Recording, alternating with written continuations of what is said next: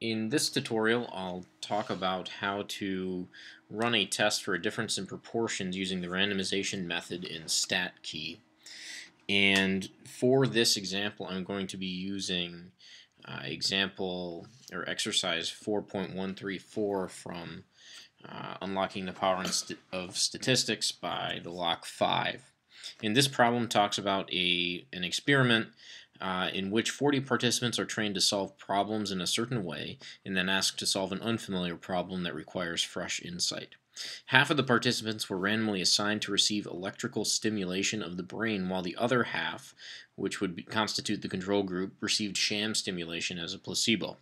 So what we want to do is look at the data that we have in hand and then run a randomization test in order to determine whether or not electrical stimulation of the brain helps people solve a new problem that needs fresh insight. So let's go to the test for a difference in proportions here uh, on the far right column in StatKey because we are comparing two proportions and we need to enter in our data.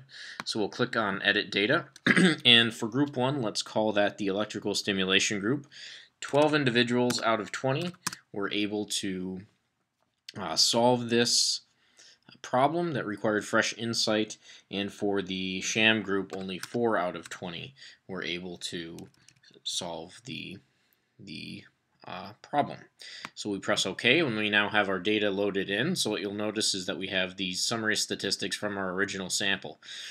so it says 12 out of 20, well, that's a proportion of 0.6. 4 out of 20 is a proportion of 0.2. And then we have a difference in proportions of 0.4. And what we want to do here is now create a randomization distribution under the assumption of the, that the null hypothesis is true.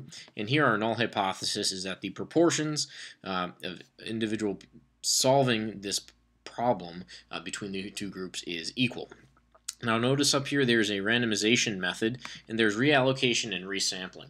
In an experimental approach, reallocation will be our preferred method whereas in an observational study we would want to use the resampling approach which is very similar to a bootstrap approach.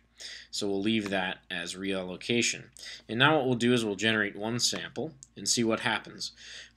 well in this sample we have uh, six individuals in the electrical stimulation group that were able to solve this this problem, or 10 in the other group were able to solve it, resulting in a difference in proportions, group 1 minus group 2 of negative 0.2, which you can see is plotted down here in the bottom left in the dot plot.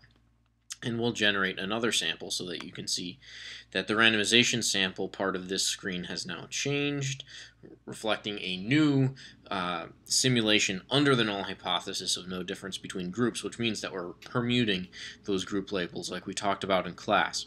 And you can see again the original sample. And if you hover over each dot, you'll be able to see the randomization sample that produced that.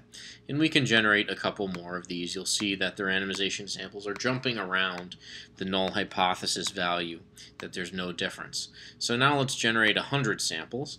And what you can see is that, well, this has filled in quite a bit now. Uh, and we have this unimodal symmetric situation. And we could fill this in more and more. And let's go to a thousand or 2,000 or so in this randomization distribution. And now that we have that, uh, we can think about calculating a p-value. And we need to think about what type of problem we have here. So what we want to do is test whether the proportion able to solve a problem is significantly higher in a group receiving electrical stimulation of the brain. Remember that was group 1 in the original sample. So we want that propor to see if that proportion is significantly higher than the proportion for group 2, which will lead us to want a positive difference. So this is a right tail problem. And now we have to go enter where our value is here. And our value, uh, we can see it there, is a difference of 0.4. So if we hit enter that in, and hit enter, then what you'll see is that we get a p-value of 0.011, saying essentially that if the null hypothesis is true and there's no difference between these two groups, there's essentially a 1.1% chance of observing a difference of 0.4 or more.